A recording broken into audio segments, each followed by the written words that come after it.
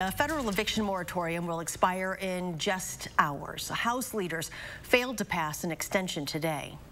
When it comes, though, to the technicalities of legislation, we just needed more time.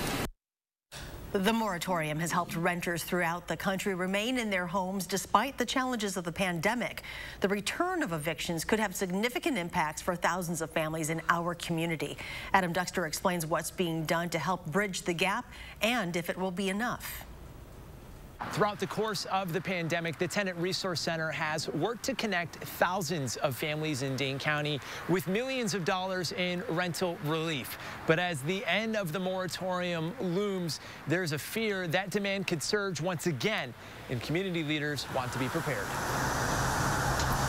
since the beginning. We took on about 4,000 applications within that first week or so. Robin Sereno and the team at the Tenant Resource Center have had their hands full. Probably the last five weeks or so, we've uh, kind of caught up with things. They're processing over a million dollars in requests each week, but are now seeing the demand rise. And while it's normal to see an uptick this time of year, August is always the worst month for the city in general for filings. We see about 300 cases in a regular August. The expiring moratorium on evictions makes this year anything but normal. We're anticipating, you know, a massive amount of filings, which we're already seeing an increase in the court calendar.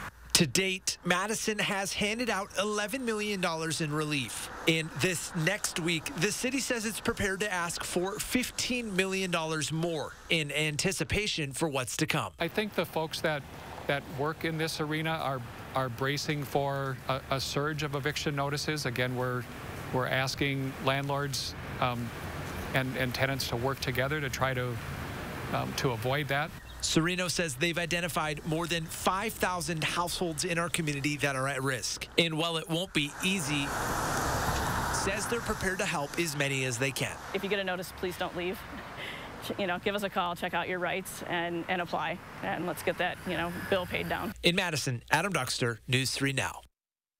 Dane County is still accepting applications for rental assistance. To qualify, you'll need to fall into the 80th percentile of income, which is 62,000 or less for a two-person household or 78,500 for a four-person household.